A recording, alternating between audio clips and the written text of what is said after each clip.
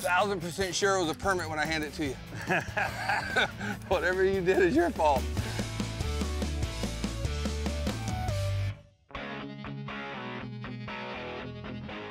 So Steve, we're down in Key West.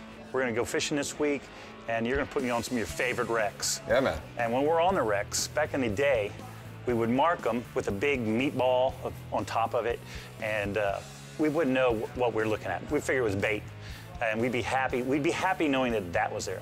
But now with the new Simrad on your boats loaded with uh, the new Chirp technology. And what, what's Chirp? Chirp is a just another way of separating targets that are mixed close together. So, so instead of traditionally pulling out there, marking a bunch of fish, going, wow, there's fish here, now we can decipher bait from, versus from, from the predators. Okay. If we're looking for a big king or a sail on a wreck, you can instantly get on top of this wreck, do your grid, say, here's the bait here, and look, there's three big boomerangs. They're, what are they going to be? They're going to be predators. They're going to be barracuda, kingfish, wahoo, sails. So the chirp technology, with a few little adjustments on your gain, pulls the actual targets out as boomerangs. And now we know when we come on a wreck, whether it's just a school of sardines or school of sardines with a pack of sails, wahoo, and, or predators, or whatever we're after to make our clients happy.